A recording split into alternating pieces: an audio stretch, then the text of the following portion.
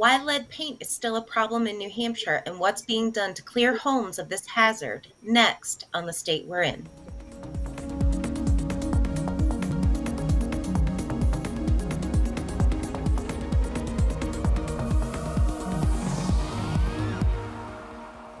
Hello, welcome to the state we're in. I'm Melanie Plenda. As part of an ongoing series about environmental justice, the Granite State News Collaborative and New Hampshire Bar News have teamed up to look at environmental challenges facing New Hampshire families. Here to discuss the issue of lead paint are Scott Merrill, the editor of New Hampshire Bar News, Granite State News Collaborative reporters Kathy Ragsdale and Paul Cuno Booth, and Collaborative Data and Research Editor John Bassett. Welcome, everyone. Thank you. Thanks, Matthew.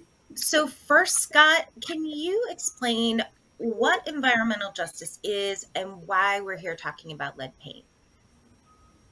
Sure. Um, so, environmental justice emerged as a concept in the 1980s, and there, there are two uh, distinct uses.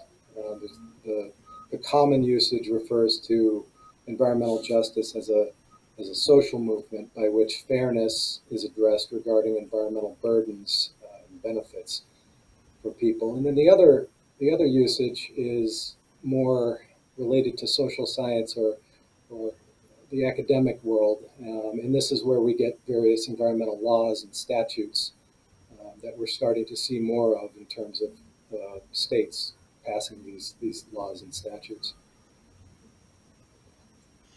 And can you um, talk?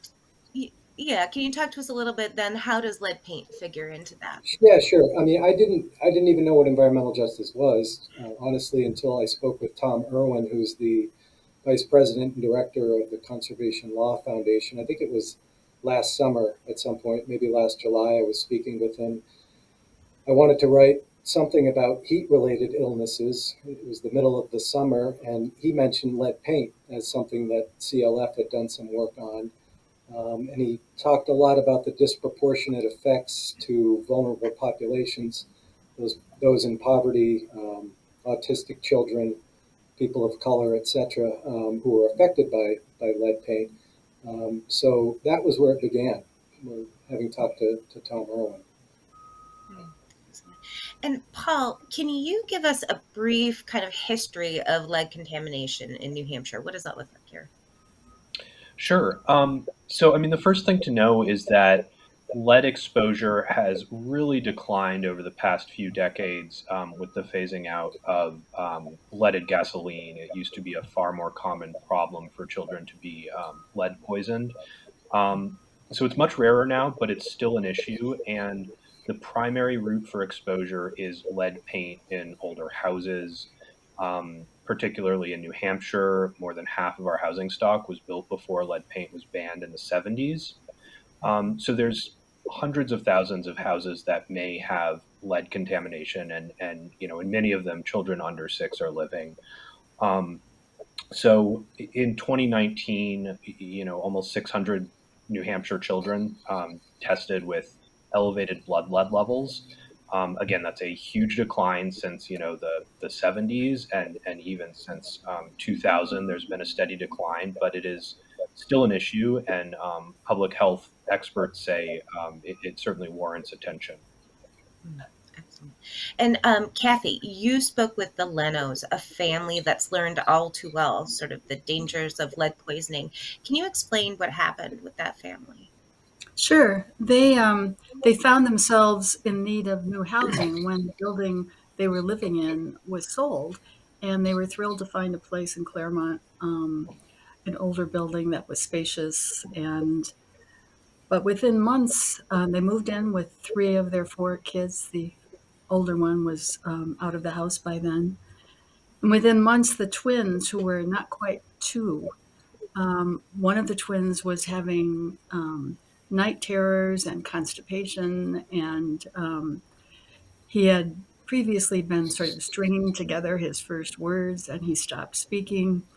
And they took him to the doctor. And um, within months of their being in that home, um, the two twins had um, blood le- lead levels of something like 17 and 18 micrograms per deciliter, which is far above what was considered safe even then. Our standards have changed since.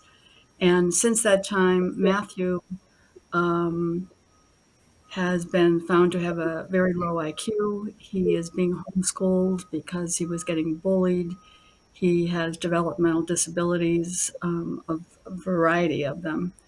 And um, he will, according to doctors, probably never drive or hold a job or do some things that, of course, they'd hoped for when he was born.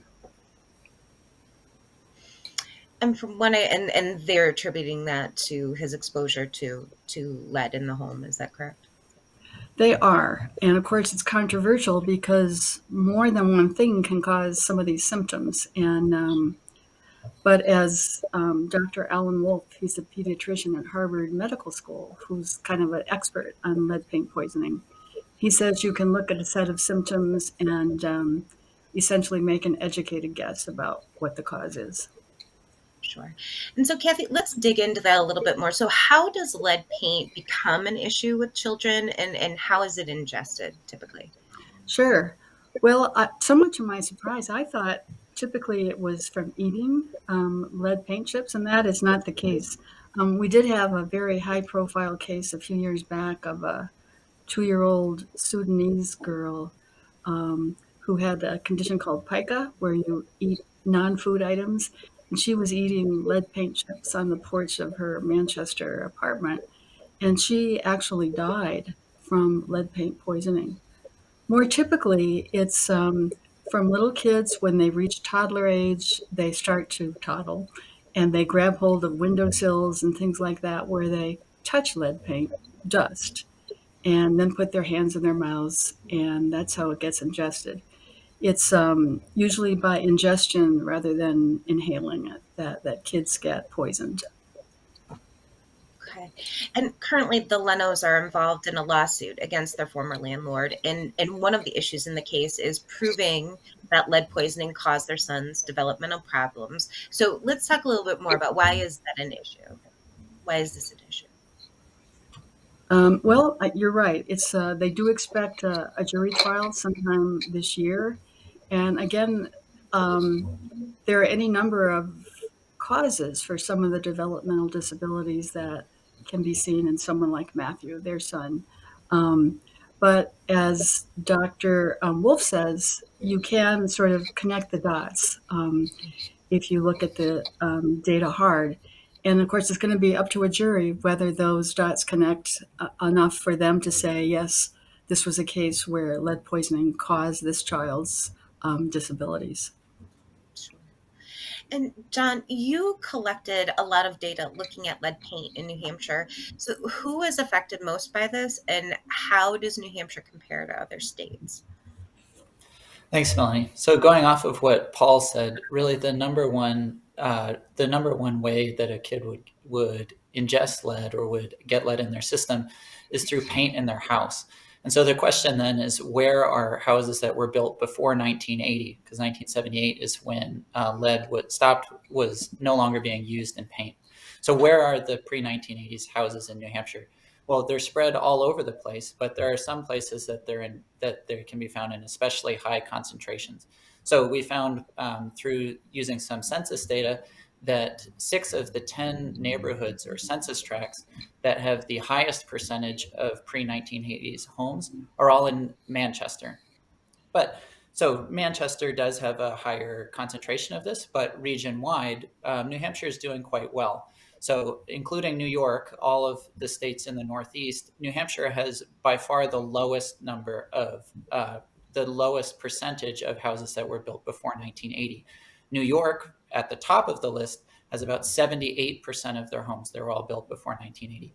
By contrast, as Paul also said, just over half in New Hampshire are uh, were built before 1980. So we're doing quite well uh, regionally, and the houses are before 1980 are really the thing to look for. Sure. And one of the factors you looked at is lead exposure in children on Medicaid. Can you talk about that a little bit more? Why that comparison? Yeah, so one of the proxy measures um, to understand which children are most likely to be living in these houses is their income level. And so Medicaid is a good way to keep track of that. So, what we found um, after talking to um, some folks at DHHS who were very helpful in helping us make sure we're looking at the right data was that children who are enrolled in Medicaid are uh, significantly overrepresented in the number of in the population of kids who have elevated blood lead levels.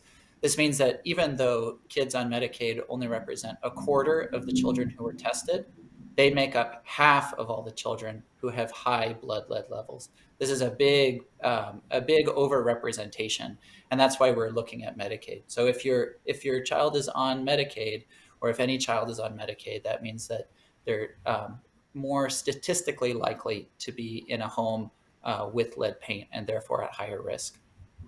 Do we have a sense of why that is?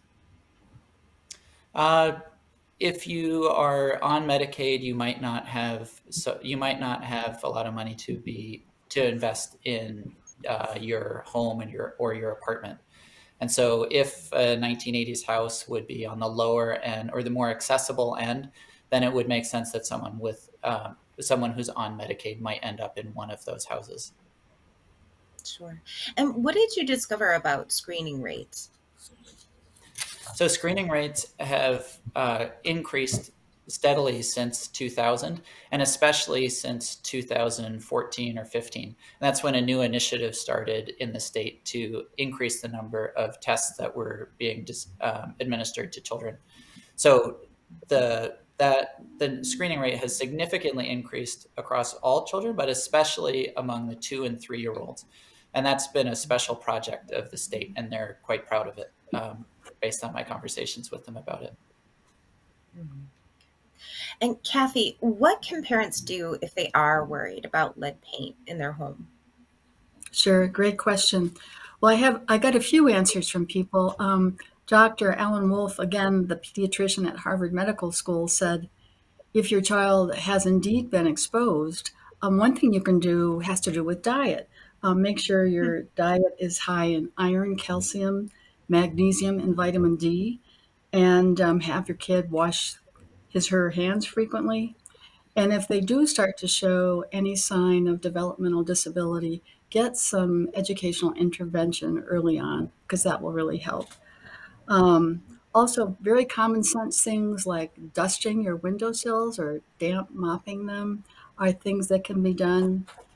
And Heidi Leno, the mother of Matthew, whom we've been talking about, also suggests that when you move into a place, uh, make sure you get documentation from the landlord about what the lead, how old the house is, whether it um, had lead paint, etc., and um, be alert to any changes in your kids that you might see, um, because that could be a sign of a developmental disability that may be related to lead paint poisoning Really interesting. And what help is available for homeowners of landlords to get rid of lead paint? I think actually Paul might be the better person to address that because there are a number of programs that are available now that weren't even a few years ago. Um, that Paul's sure. familiar with. Yeah, yeah. So um, as, as Kathy said, there are several grant programs in the state. Um, Sullivan County, Manchester, and Nashua all have their own. Um, and then for the rest of the state, the New Hampshire Housing Finance Authority has one. Um, and these are programs that offer grants to homeowners or landlords to um, inspect and then remove lead hazards from um, units. There are certain um, income thresholds. Um, so I, I, believe it's uh, 90% of, of area median income. Um, but um, so so those are available, and you know the people we spoke to for um, the story said there's really more money than ever coming in from the federal government to um, to do lead removal. Um, there's you know millions of dollars between these four programs, um, but it is still um, a drop in the bucket compared to all the the pre 1980 homes um, that we have. Um, in, in addition to these grants, there's also a state loan program um, that offers deferred loans um, to, to further help with those costs. So that's essentially a loan that attaches to the the home and um, doesn't have to be paid back until the home is sold. So there are those um, uh, forms of assistance for for families that, or, or landlords that qualify. When I was struck in the story too that, like you said, there there is a lot of money available, but that one of the problems with doing these remediation efforts is a lack of contractors. Were you the one that that also looked into that? Can you talk about that a little bit? Yeah, so you um, that's exactly uh, what we heard is that you know um, there's more money coming in to the state than ever before for this work. Um, for example, Sullivan County's grant alone is 1.7 million over three years. Mm-hmm. That's um, supposed to abate about 60 homes, but yeah, there's definitely. Um, I'm sure a lot of viewers are aware in general that that getting contractors to do all sorts of projects is is not easy right now. And then, you know, when you factor in the special certifications you need to do this kind of abatement work, there's just limited capacity. So, you know, even if we dumped a billion dollars on the state tomorrow to do this work, um, th- that's still sort of a uh, a bottleneck that that needs to be um, considered. And so, and along those lines, Paula, how would you describe then New Hampshire's progress on eliminating lead paint? Um, well, similarly to the the um, testing story that Johnny spoke about, you know, there there has been real progress in the past few years. Um, there's increasing awareness. Um, as I said, there's more money coming in, um, and you know, there's been a, a couple of um, bills passed passing the legislature. Um, in 2018, there was one that, you know, mandated testing, um, established this loan program I discussed, and um, also lowered the threshold for um, for intervention when a, a child um, has lead detected in their blood. Um, so that's actually, you know, led to a lot more demand for some of these grant programs to because suddenly a lot more uh, or suddenly there are children who are um, above that threshold and um, landlords are under orders to to abate. So, um, so there's definitely forward movement. Um, but again, as I said, you know, um, with more than half of our housing stock, uh, you know, old enough to to contain lead paint, um, that's a lot of homes, and you know, we're talking about um, funding to do a couple hundred uh, at a time right now. So there's there's a lot of work left to be done. Sure. And Kathy, I thought this was interesting. Your husband is a, a painting contractor, so he uh, and you know firsthand how difficult and mm-hmm. expensive getting rid of lead paint can be. Mm-hmm. So, what does he do when asked about getting rid of lead paint? Well, I, I think it speaks volumes that he has led let his um, lead paint certification lapse um, mm-hmm. because there's too much regulatory um, red tape involved. You have to wear special gear. Um, it's very expensive, and it's it's for a, a, lot of contractors simply not worth it. Mm-hmm. Interesting. Um, and so, uh, Scott, back to you. Anything to add? Uh, what's worked, and what are the roadblocks here? Do you think? Well, one of the roadblocks I think was was spoken about in terms of uh, well, Kathy, you just sort of touched on it too. I mean, the, the, the lack of contractors is one of the roadblocks, but roadblocks. But I wanted to also point out the um, uh, Charlene Lovett's work in Claremont. We didn't cover this in the article, but but th- that's been a real success story in terms of the increasing the screenings of children. They've brought in mobile units to do that. Um, they've applied for grants. Um, this is in Sullivan County, so um, I thought that was important. We just didn't have space, I guess, in the article to really focus on that. Um, yeah, can yeah. you talk about that a little bit more? So, who who is Charlene Lovett to explain to people, and, and what was she? She's the mayor of Claremont, and I think she she got busy on eliminating as much lead in, in the city as, as she could. I think it was back in 2016, 2017 and that, that was around the time when there was an initiative, a statewide initiative to decrease, um, you know, blood lead levels in children and to in, increase screenings for children. Um, so I, you know, having talked to her, it, it just seemed it seemed like she was very passionate about it, and she got community buy-in, partly through her uh, diligence uh, working on the issue, but also in a practical sense, she started applying for lots of grants, and you know, she got as much money for her city as she could. Excellent. And so, Scott, um, what's next in the environmental justice series? Yeah, I've been interviewing people this week about uh, food security issues. So, um, uh, access to, to healthy food is a problem. And what I'm finding, I've just got done reading a, uh, a paper uh, about the Carsey School of Public Policy, and they've mapped out the entire state showing where um, the, the lowest income income folks live, which is not surprisingly perhaps, um, you know, there's pockets in Nashua and Manchester, but the, the large, the majority of people who are living uh, below the federal poverty line, which is uh, 200% below the federal poverty line, which is about $50,000 a year for a family of four, is in Coos County and northern Grafton County. And those are also the places where the fewest number of grocery stores exist or access to farm uh, farm food. So really looking forward to uh, diving into to that issue. Um, again, the Conservation Law Foundation is working on a project right now as well, which uh, is helping small farmers uh, with legal questions that they might have um, in terms of uh, zoning issues and things like that. So uh, I'm going to be speaking with those folks and hopefully uh, we can get this off the ground soon.